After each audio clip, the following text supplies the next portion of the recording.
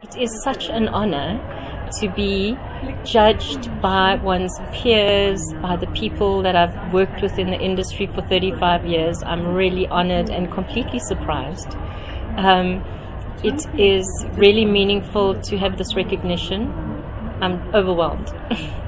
Your beat is media research in Africa. Yes. What are some of the challenges that are being faced on the continent, and how is it impacting advertising? So, the biggest challenge is there are no joint industry committees outside of South Africa and Kenya.